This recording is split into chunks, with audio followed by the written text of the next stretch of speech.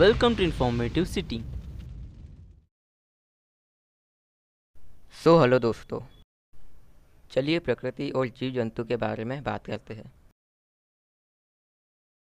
Darwin के अनुसार हम सभी एक ही जीव से उत्पन्न हुए हैं। लेमार्क ने इवोल्यूशन के बारे में बहुत सी चीज़ें बताई थी, जैसे मौसम के अनुसार जीवों में इवोल्यूशन होना, और भी बहुत सी चीज़ें बताई थी। और लेमार्क के द्वारा दी गई थ्योरी ये लामार्कवाद या लेमार्कवाद कहलाती है। उस समय यह बहुत ही प्रसिद्ध हुई थी, पर बाद में इसे माना नहीं गया, क्योंकि यह धर्म के विरुद्ध थी। उस समय जो भी धर्म के विरुद्ध बोलता था, उनकी आवाज़ को दबा दिया जाता था, और तो और कभी कभी सजा भी दी जाती थी। इसलिए कई सारे वैज्ञानिक बुढ़ापे में अपनी बात सामने रखते थे, क्योंकि उन्हें तो पता ही था कि अब वह ज़्यादा समय तक नहीं जी पाएँगे, इसलिए उन्हें मौत का भी कोई डर नहीं था। और डार्विन ने 1831 से 1836 तक बीगल एक ब्रिगेडियर नाव पर पाँच साल की समुद्री यात्रा की। वह अकेले नहीं थे। उनके साथ दो और लोग थे। उनका नाम अल्फ्रेड वॉलेस और विलियम बेटसन है। उन्होंने भी डार्विन के साथ मिलकर खोज की थी। इन दो लोगों के बारे में शायद ही आपको पता होगा, पर ये भी डार्विन के साथ थे। लेमार्क भी एक जीव वैज्ञानिक थे, जिन्होंने सत्रह में जन्म लिया था। और अठारह में उनका निधन हो गया। मतलब यह डार्विन से बड़े थे, क्योंकि डार्विन का जन्म 1809 में हुआ था। आपने कभी ना कभी ये तो सुना ही होगा कि दौड़ लगाओ, लटको, इससे आपकी हाइट बढ़ेगी। और काफ़ी हद तक ये सही भी है। वैसे लेमार्क ने भी यही चीज़ कही थी। ये नहीं, ये कही थी कि हम जिस अंक का इस्तेमाल ज़्यादा करते हैं, वह उतना ही बढ़ता है या मज़बूत होता है। मैंने जो एग्ज़ाम्पल बताया, यह छोटी स्केल पे होता है। इवोल्यूशन एक बड़ी स्केल पे होता है। ये चीज़ इवोल्यूशन में ज़्यादा समय लेती है। और जस्ट इसका उल्टा भी होता है कि हम जिस अंग का इस्तेमाल करना छोड़ देते हैं तो वह अंग धीरे धीरे गायब हो जाता है।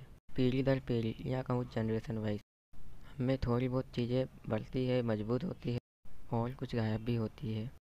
यही चीज़ एवोल्यूशन कहलाती है। ये भी लेमार्क ने दिया था। चलिए लेमार्कवाद से आगे बढ़ते हैं और डार्विनवाद पर आते हैं। लेमार्क की कुछ बातें डार्विन की थ्योरी में भी मिली है, पर लेमार्क की थ्योरी और डार्विन की थ्योरी में बहुत अंतर है, क्योंकि डार्विन ने बहुत सी बातें सामने रखी है, जैसे कि नेचुरल सिलेक्शन और आर्टिफिशियल सिलेक्शन चलिए नेचुरल सिलेक्शन और आर्टिफिशियल सिलेक्शन की तरफ़ बढ़ते हैं। नेचुरल सिलेक्शन में नेचर खुद चुनती है कि कौन जीवन जिएगा। वो कैसे? वो ऐसे। आपने ऐसे जानवरों के बारे में तो सुना ही होगा, या देखा होगा। जो ऐसे रूप में रहते हैं कि नज़र ही नहीं आते। जैसे हरी घास में हरा सांप, बर्फ़ में रहने वाले सफ़ेद भालू। यहाँ मैं गिलगिट का भी एक अच्छा एग्जांपल ले सकता हूँ, जो कि हालात के अनुसार अपना रंग बदल देते हैं, ताकि वह दूसरे जानवरों से बचे रहे।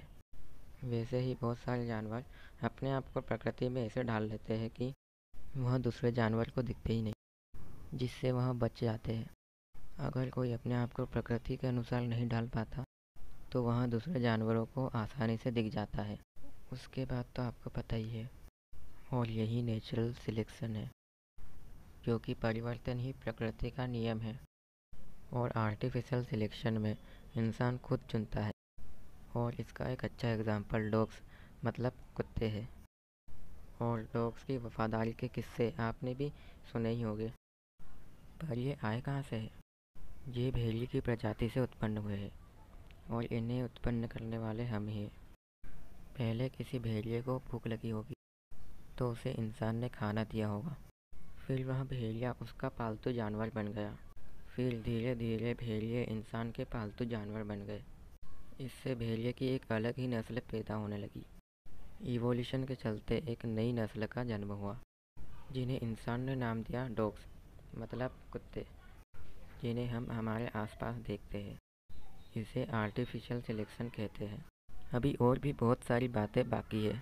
उसके बारे में हम अगले पार्ट में बात करेंगे, वरना वीडियो लंबी हो जाएगी। अगर आपको हमारी ये वीडियो पसंद आई हो तो वीडियो को लाइक करें चैनल को सब्सक्राइब करें, इस वीडियो को शेयर करें कमेंट करें। Thank you for watching